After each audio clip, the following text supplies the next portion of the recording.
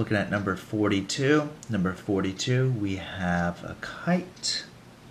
And we know that a kite is always equal to 360 degrees. It's not so simple because you can't just equal 5x plus 14 to 3x plus 8, even though if there is a diagonal, it is an angle bisector, these are not considered to be equal. So we do have to equal everything out to 360.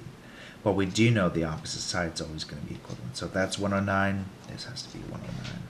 So we have 360 degrees is equal to 109 plus 109, so 218 plus 5x plus 14 plus 3x plus 8.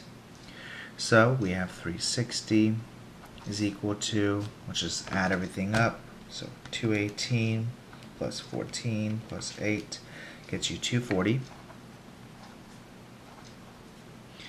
And then 5 plus 3 gives you plus 8x. So what we have here is we just need to subtract 240 by both sides. 240 to both sides, you get 120. It's equal to 8x. And I believe, actually I don't even know, 120 divided by 8. We divide 8, we get 15. So x goes into 120 15 times. So the answer for this one would be 15.